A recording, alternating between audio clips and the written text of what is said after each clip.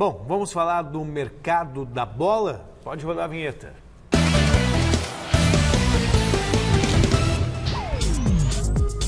E nós começamos o nosso mercado da bola de hoje falando do Grêmio.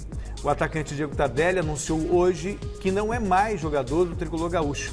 Ele chegou ao Rio Grande do Sul no ano passado e tinha vínculo com o clube até o final de 2021. Mas as duas partes entraram em acordo pela rescisão. Não deu certo, né? Tem jeito. E outra coisa, é, ele chegou sem vontade, é, quase não foi titular no ano passado, né? E é um jogador caro, quer dizer, então não, o tal do custo-benefício, a diretoria do Grêmio avaliou isso e eles em comum acordo rescindiram o contrato. E, e deixa eu só acrescentar uma coisa, Garrafa, que quem também deve deixar o, o Grêmio é o atacante André, outro que também... É, também aliás, não chegou, né? Não... Esse aí não chegou. Agora, o, o Tardelli, eu até colocava uma, uma, uma certa expectativa de que ele pudesse dar certo no Grêmio. Porque ficou a imagem pra gente do Tardelli, aquele Tardelli do, do Atlético Mineiro. Uhum. Né? É, era um Tardelli que estava focado, estava jogando muita bola, aí ficou lá na China um bom tempo. E aí esse é o problema de você repatriar jogadores. Você não sabe que tipo de jogador você está trazendo. Principalmente da China, da China. Né? Você está é. trazendo aquele cara quando foi para o futebol chinês ou o que ele produziu no futebol chinês? E aí não deu liga mesmo, acho que o Grêmio fez está é, coberto de razão.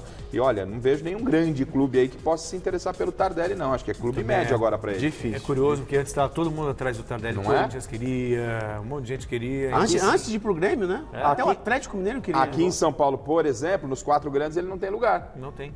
No Corinthians ele não tem. São Paulo não tem lugar. O Santos contratou um centroavante, contratou o Raniel agora, é, contratou. Até, mas tudo, mas contratou, é, né? Um Raniel, até porque se ele for para um time mediano, ele vai ter que baixar o salário. É, tem o Sacha, que é artilheiro, o Santos. Tem o Sacha, é, Bom, ainda sobre jogadores de frente, o Daverson deve mesmo sair do Palmeiras, como bem antecipou na semana passada o nosso repórter José Paes.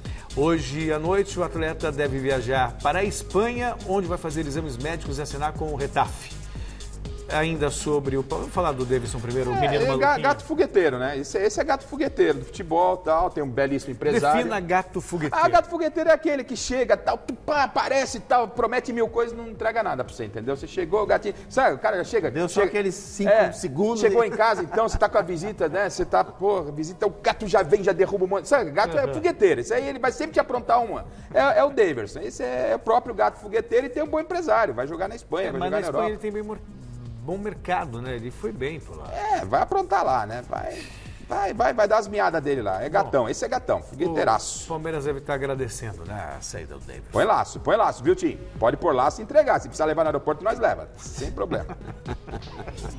Ainda sobre o Palmeiras, o clube pode estar contratando uma promessa do Motoclube do Maranhão. Trata-se do jovem Valdenilson, de apenas 19 anos, destaque do time maranhense na Copinha. Valdenilson. Alguém já viu alguma coisa sobre o Valdenilson? Não. Não. Confesso que não, mas o, os clubes têm é, pessoas profissionais é, capazes para fazer esse tipo de busca. Os, os chamados olheiros, né? Não é? Hoje o mercado exige esse tipo de situação. E se um clube como o Palmeiras, a grandeza do Palmeiras, que tem uma base forte, tanto é verdade que puxou muita gente, vai atrás de um cara desse, acho que ele tem que respeitar, né? Será que mantém Valdenilson? Dá uma abreviada aí, alguma coisa? Val, né? Pessoa, gol de Valdenilson. É, da cara, Val, sonoro. Val ou Denilson? Val. É, vai, vai Denilson. Não, Valdenilson. Péssimo. Bom...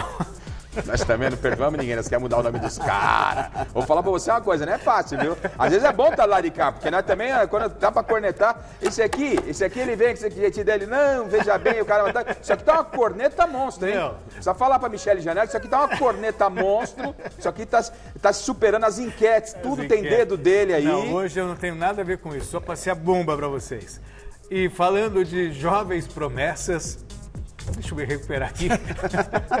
o Corinthians assinou um pré-contrato com Léo Natel, atacante de 22 anos que pertencia ao São Paulo. O problema é que a diretoria do clube do Morumbi não quer liberar o atleta. Teremos aí briga por esses dois gigantes do futebol paulista? É, eu tive na coletiva hoje lá do São Paulo, né? Foram cinco personagens que falaram, três da diretoria, o Lugano, o Raí e o Pássaro e o Vitor Bueno e o Pablo. E surgiu esse assunto, esse assunto não está no VT, a gente já está colocando até por aqui. O que aconteceu? O São Paulo ele estava no.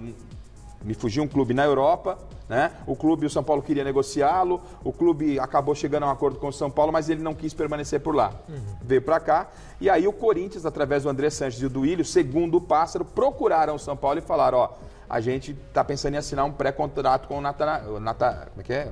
O Léo Natel. Léo Natel.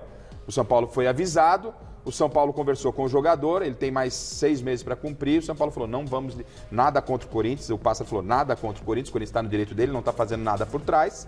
Mas a gente vai aguardar um direito do jogador. Se o jogador quiser ficar no São Paulo, a gente faz um novo contrato. Se não quiser, cumpre o contrato e aí depois assina com quem quiser com o Corinthians. Não, mas ele pode, com seis meses antes, ele pode sim, assinar. pela lei, sim. Pode, pode assinar, assinar, pode claro. assinar, mas, não, mas o São Paulo vai fazer ele cumprir o contrato dele. Só sai depois de cumprir bem. o contrato. Outros dois jogadores do Tricolor podem deixar a equipe. Liseiro e Araruna interessam ao Reading da segunda divisão do futebol inglês, equipe que conta com Alexandre Matos no corpo diretivo. O Araruna, hum, nem tanto, mas o Liseiro vai fazer falta, hein, se der certo. Ah, eu acho que não, sabe por quê, Celso? O São Paulo tem um monte de. É Linho no meio-campo, uhum. é, é Linho Hernandes. Acho que o Hernandes tem que jogar titular, começar uhum. jogando, né? É Linho Hernandes. Então acho que tá, tá bem servido Dá pra ali. Liberar. O Tietê, quer dizer. Ah, eu, eu não sei não, Miller. E outra coisa, ir pra segunda divisão do futebol inglês, o Lisieiro. É que o São Paulo tá louco para fazer grana, tá precisando, ah, buscar um equilíbrio no caixa. Mas se eu sou lisieiro, segunda divisão do inglês, estou fora. Quem já está de malas prontas para sair do país é o atacante Felipe Vizeu. O ex-jogador de Flamengo e Grêmio pertence ao Udinese e agora foi emprestado, presta atenção, ao Akhmat Grozny, da Rússia. Que isso, velho? Viu só? Gostou do meu russo? Akhmat Grozny, da Rússia. Outro que deve deixar o futebol brasileiro é o atacante Berril do Flamengo. O jogador colombiano recebeu sondagens do Tijuana, do México, e a negociação deve ser concretizada. E para finalizar o nosso mercado, Diego Souza pode parar na Série C e defender o Santa Cruz do Pernambuco. A investida do clube nordestino deve acontecer com o apoio de um site de apostas que patrocina a equipe. Inicialmente, o contrato com Diego Souza será por três meses, com possibilidade de renovação imediata. Que fase do contrato Diego Souza. Contrato de risco, né? Nossa. Que fase do Diego Souza, hein? E, e pensar quando ele veio para o é... São Paulo. É peso de ouro, né? Na expectativa de defender a seleção brasileira em e Copa ele, do Mundo. Ele, ele, tem, ele tem um nome forte lá no Nordeste em Sim, função é. da boa campanha no esporte, né? Bom,